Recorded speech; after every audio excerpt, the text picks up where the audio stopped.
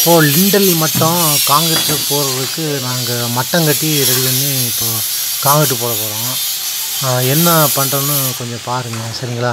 அந்த லிண்டலில் வந்து காங்கிரீட்டு போடணும்னா கீழே வந்து கம்ப்ளீட்டாக லிண்டலையும் சென்சைடையும் வந்து மட்டம் கட்டிடணும்.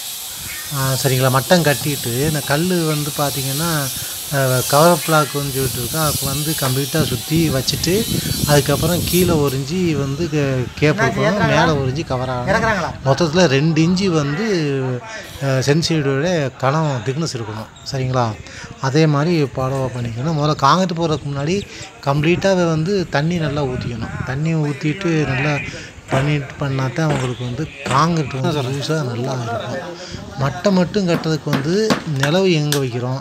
லிண்டல் வந்து உயரம் வர மாதிரி விண்டோ வைக்கிற இடம் இந்த இடத்த பூராமே வந்து கம்ப்ளீட்டாக ஒரே மட்டமாக இருக்கணும். அந்த ஒரே மட்டமாக இருந்தால் தான் நம்மளுக்கு வந்து நிலவு ஜன்னல் அந்த வந்து ஒரே மாதிரி கிடைக்கும்.